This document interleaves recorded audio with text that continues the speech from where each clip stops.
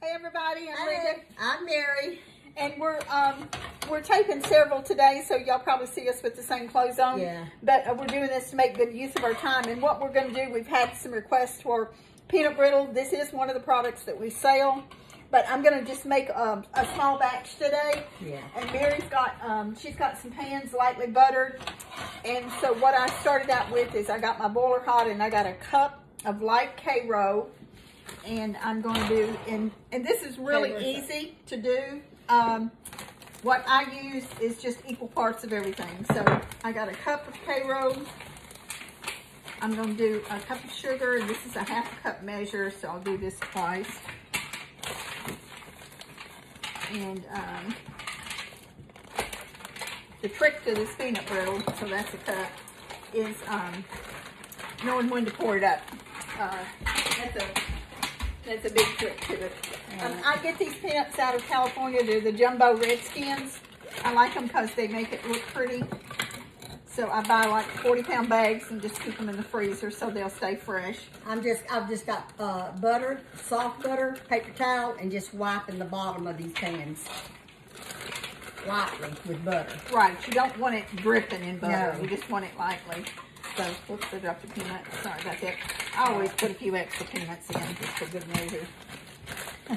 okay, so, um, and I'm, I'm sure everybody knows this, but if you if you don't use nuts a lot, pecans, walnuts, almonds, peanuts, um, you need to store them in the freezer because they'll get. Mom used to say rank, didn't she? Yeah.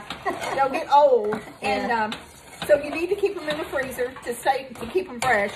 Um, I do keep excess nuts in the freezer, but I'm I'm basically taking them out almost as soon as I put them in there because I uh, so 'cause I use so much of them.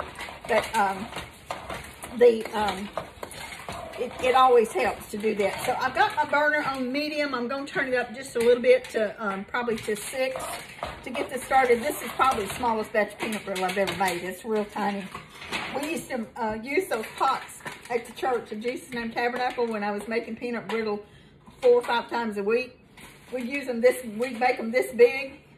And I was a lot smaller then than I am now, in weight anyway, same height. We called her Mousy because she was so tiny. Uh, I'm telling you, I picked up those um, pots of peanut brittle.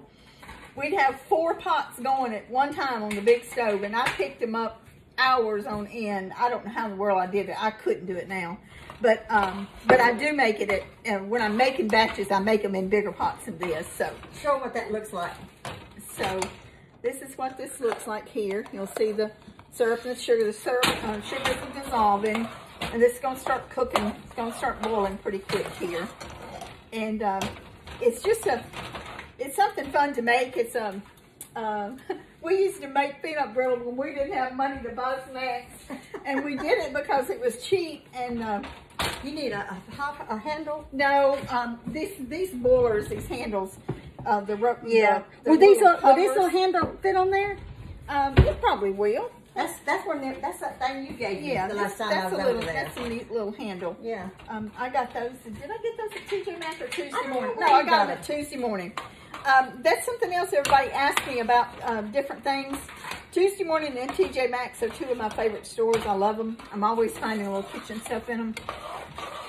And um, every time I go to Longview, uh, those are two stores that I always go in if I have time. And most of the time, I find something I want in there.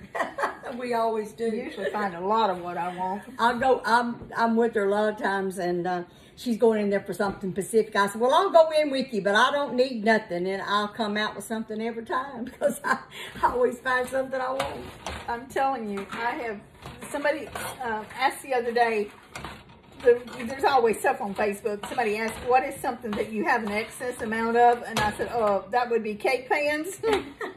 I've got two huge totes, probably almost three huge totes Yeah, of just about every kind of cake pan you can lot of cake imagine, from a three inch all the way up to a 14 inch, and that doesn't even count the the um, cheap pan, pans, pans I got. Linda did. I don't think Mama made peanut brittle, did she? When we were growing up, She didn't. I didn't I don't remember so. her making peanut brittle. Um, Yeah, I you know, she made peanut butter cookies. Yeah.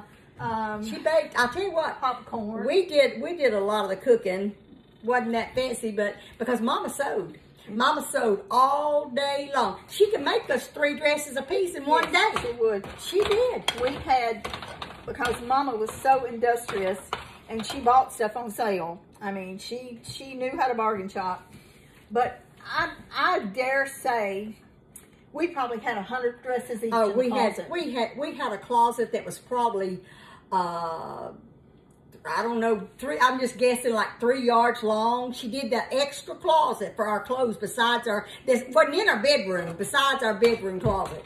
We had so many clothes. Our neighbors, our friends, they'd come over, they uh uh want to borrow some of our clothes.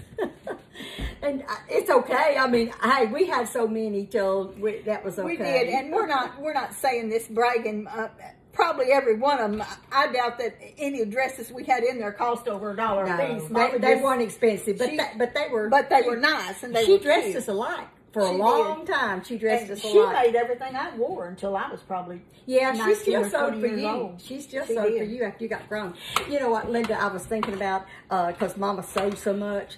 Uh, I don't even know what. Um, what, how far down the relatives was? There was Holl- wasn't they Holloways? Holloways, yeah. Holloways. They had, uh, they were, they were less fortunate than we were. They didn't even have electricity. They lived way They- back. they They, did. didn't even live in the same town with us, but it was, I think it's in Augustine County, wasn't it? I think it was. across the river. Yeah, and um, and those little girls. How many girls was it? Two or three? two of 'em. Two of them, and um, they didn't have that many clothes.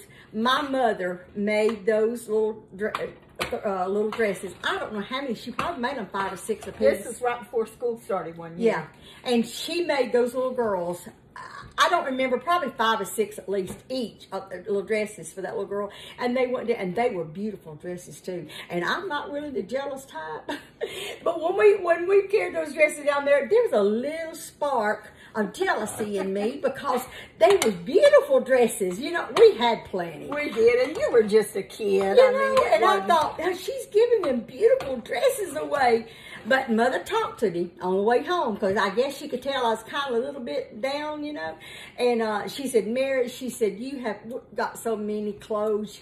You And, and you got to think about uh, how unfortunate, you know, uh, how much less that they had than us. And, and it was okay. She made, and that's what mama done. Anytime as kids, when we got, uh, uh, get a bit bad spirit or ugly or something, she would, she'd try to explain to us, look, you got to be thankful for what you Yeah. got. And, and so I remember she, she got me out of my little pouting spell, but, um, I wondered about that. And you know, I love that little girl. I really did. I, I don't even remember her name, but I've seen her a few times. We didn't I see each other just, very I often. could just see their faces. Me too, but I just, uh, I just, um, I don't remember their names. I, I did for years, but anyway, And I hope the girls appreciated them as much as Yes, as, as what uh, Mama had had in, in enjoyment in giving them to them. Yes, she did. Um, Mary and I have a, we're from Nacogdoches. I think everybody probably knows that now. We're, um, we did not grow up in, the- in the, uh, in the uh, Country. country. A lot of people thinks because we have a heavy East Texas accent, which I do not apologize for. That's who we are. Um, we that we were from the country. We did not grow up in the country. We lived in town. We were probably less than two miles from downtown Nacogdoches. We always had uh, modern facilities. Uh, we had good, good cars, and, and, you know, We weren't wealthy. We, We- were just we were just we probably at times thought we were poor because we didn't live on the side of town where the popular kids live, but we had a good home. Yeah, we did. It was a nice home. It was pro- probably the biggest home on the It was street. the biggest house on the street. Yeah. Um, it was, um, we had one, two, three, we had four bedrooms. We only had one bathroom, but it was a huge bathroom.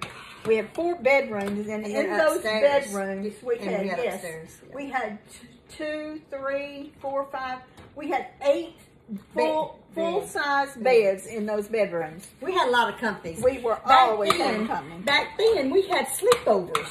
You know, the girl. I mean, it wasn't nothing for for our, our now sister-in-law, that's married to our oldest brother. her twin sister. She, we met them when she was fifteen, so she's been in the family since she was fifteen. So we just she, that's you know, that's just another sister to us. That's why we Yes, call her and sister. Charles would And- pick her up, and, and Debbie too. Debbie Yeah, hasn't been in, in the family as long because they're Yeah, younger. yeah. But um, uh, we look at Debbie the same way. Right. But um, Charles would. They lived in Appleby, which what, fifteen miles from Nacogdoches. yeah, and that seemed like a long ways. But he would pick them up on Friday afternoon, and they would stay until after church on Sunday night. Mm-hmm. And that was probably maybe one or two weekends out of the entire time. What, what, three, four Yeah, years yeah. that they didn't spend Yeah. the weekend with us, and we loved it. Oh, we loved it because um, uh, on Saturdays we would, um, uh, uh, I mean on um, Sundays afternoon we would fix each other's hair all evening. We'd, we'd be singing in the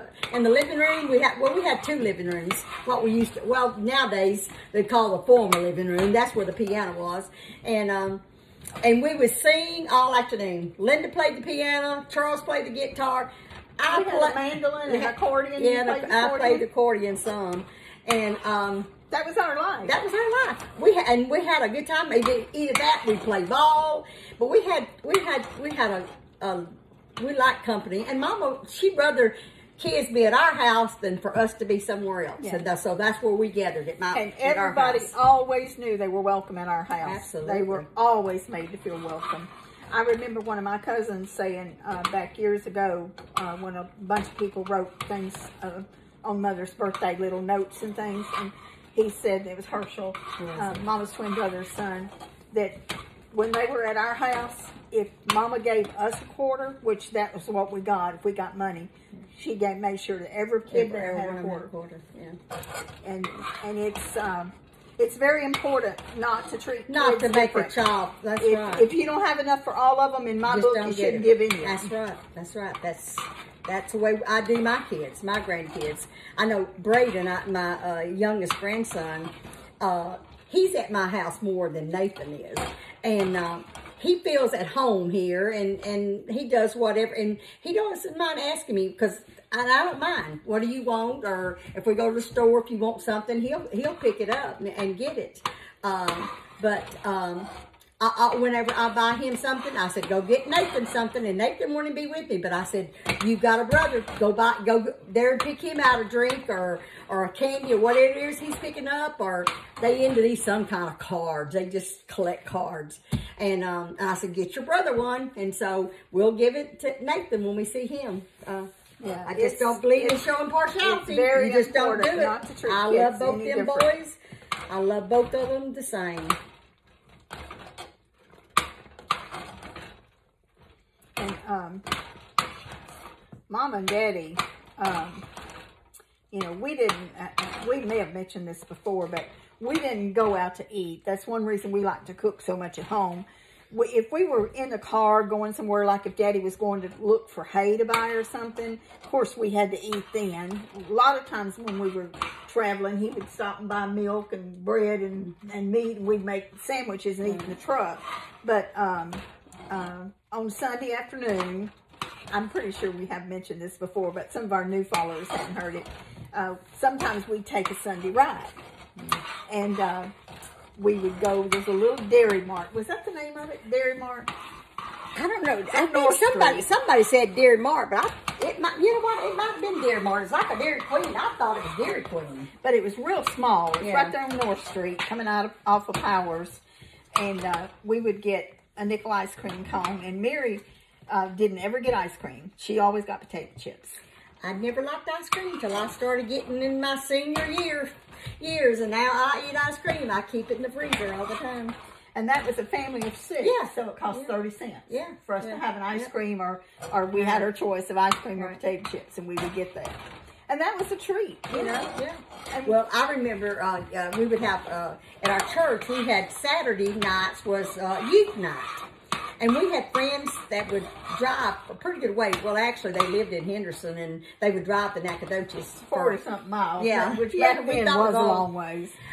But after church, we'd all get in the car and we'd go to where Sonic. It was Ken's. We'd go to Ken's convenience Oh, store. that's right. That's right. We do that too. We Sonic sometimes, but we, We went. did. We went to uh, Ken's um, um, It was convenience store, and they'd go in there and buy big bags of tater chips and soda pops.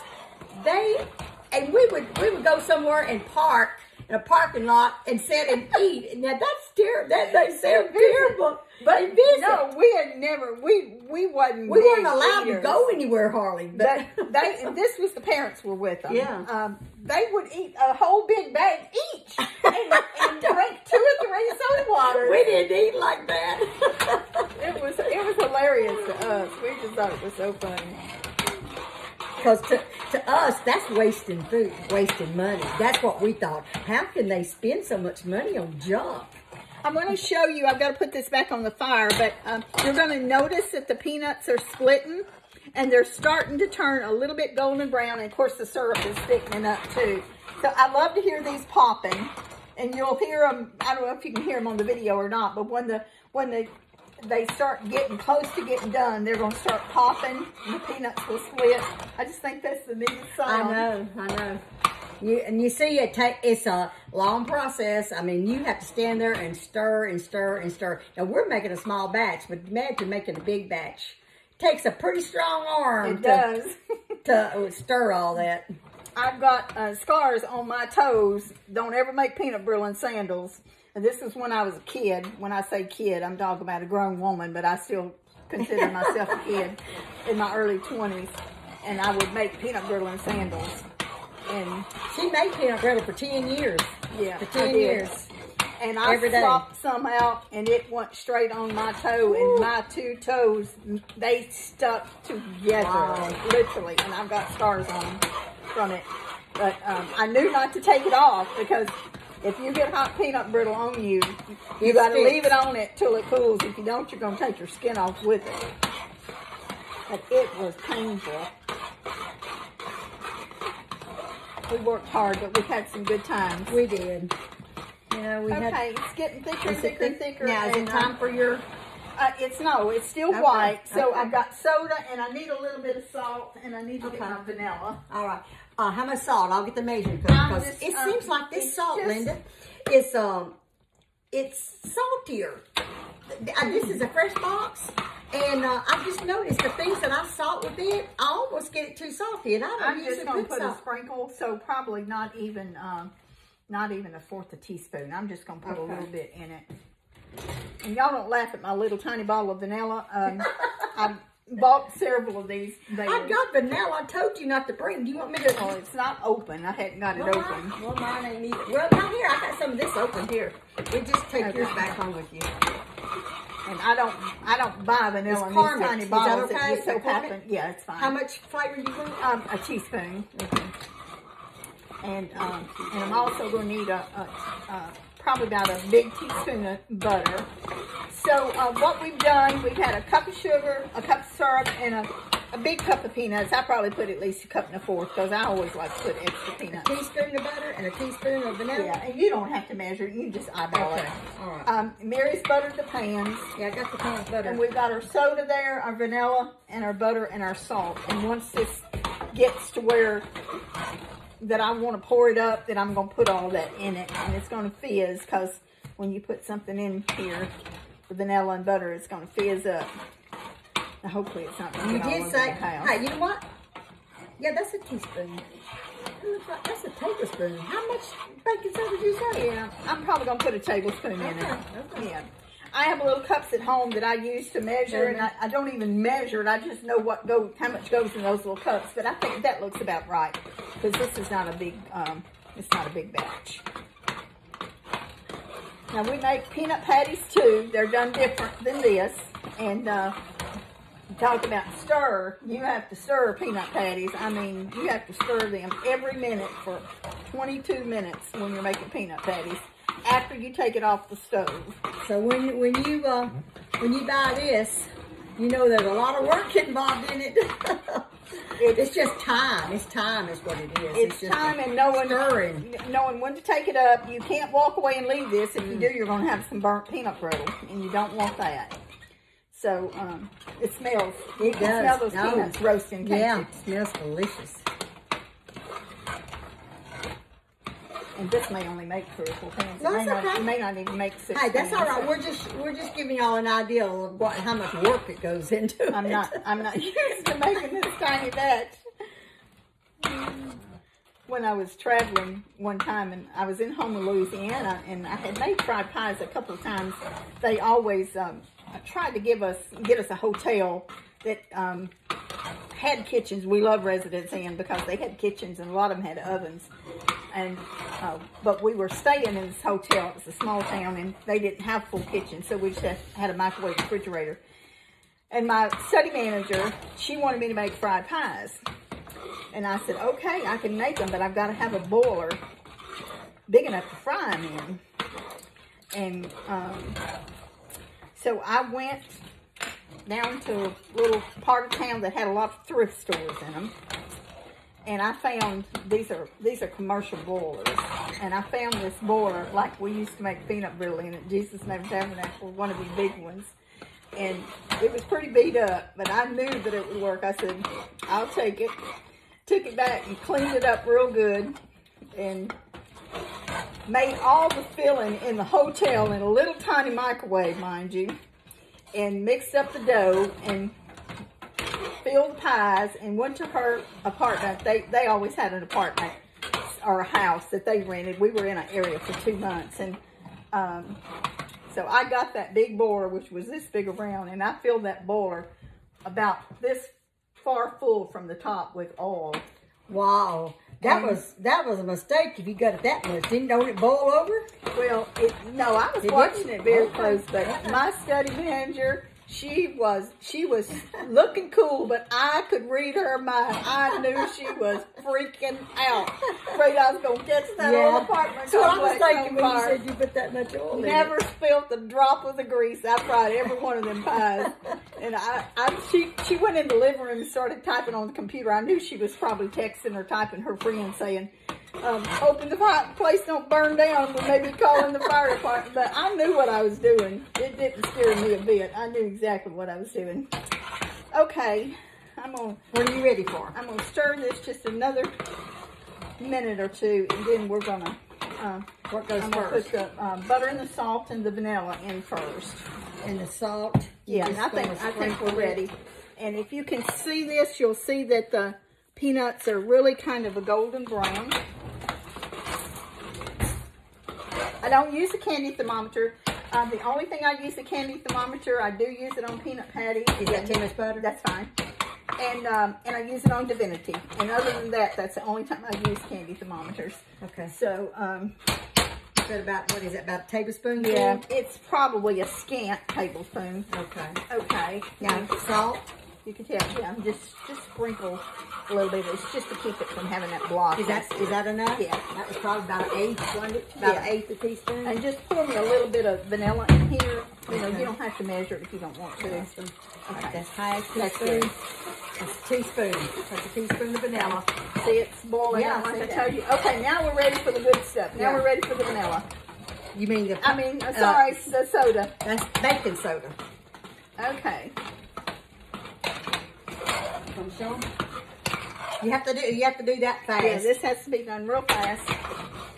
Oh, we need to turn this off.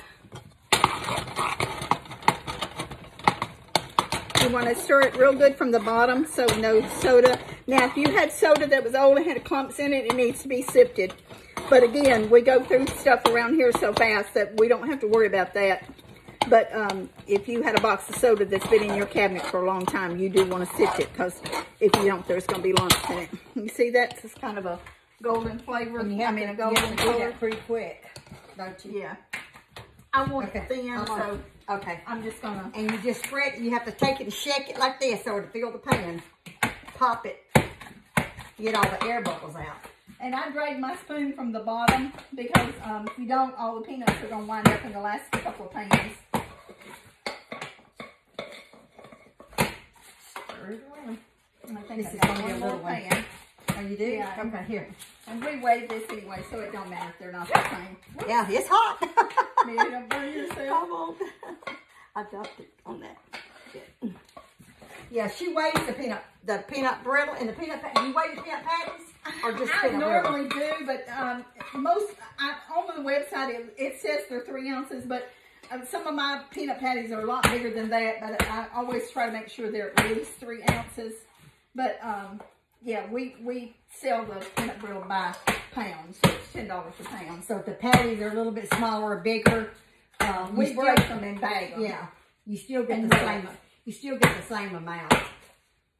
That one you almost got it. Okay. Now right, it's a so- cooling process now. The next thing you need to do is get this in some very Yes. hot water Yes. And let it sit. I'm gonna run the water over the Yeah. side of it because it's uh, spilled over the side. So You see, I dropped the little bit on the counter. It's already hard. yeah, you um, once you put this peanut brittle on here, um, some people like putting it on cookie sheets and stuff like that. I'm going to tell you something. I would never pour peanut brittle out on a cookie sheet. I use these pans, these pie pans. We buy them by the case, and um, they're easy to pop out because they're thin. So that's what we use. We don't use a cookie sheet or anything. And uh, I'll tell you something else about this too. If it does happen to get on your counter, Yeah. the best thing to do is just put a hot dish rag over it and let Okay. it sit a minute. Okay. And that's right. going to melt that sugar. Okay. All right. And that way you don't um, damage your counter trying to scrape it up. Um, Okay. I'll take care of that later. I don't know everything, but I can tell you I know Linda's just about everything in there is with brittle. peanut I'll brittle. tell you she is. Okay, now Linda, these herbs are cool. I mean, I mean Yeah, they're it's- hot. It's, it's gonna, gonna- take a while for them It's to cool. going to take a while for these to cool. So what are we gonna do? Just um. Um, I'll tell you what we'll do. We'll do a finished we product. Will, we will take a, a still picture of the peanut brittle. We'll break some up so you can see how brittle it is because this is going to need to sit and cool probably for at least a half an hour or something. Um, so maybe not that long, but probably. So, um, there it is. It looks Yeah. like a beautiful color, doesn't Yeah, it? it does. It's, it's beautiful. So uh, thank you again for watching. Um, we will um, see y'all again soon. Okay. Thanks. Thank y'all for uh, following us and Be sure to watching share. today. Thank All you. Bye-bye. Bye bye.